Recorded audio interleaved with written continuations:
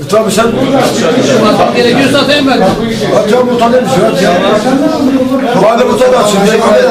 Atmadan falan tek tek bakacağım. Burada hangi muhtarımız gerekirse çıkıyorsa. evine gidiyorum attırım. Yani yalandan birbirimizi kandırmayalım. Sahip Herhalde, herhalde bu birlikte gideceğiz. Burada şey yok bu.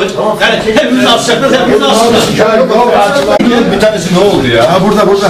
Öbürü nerede?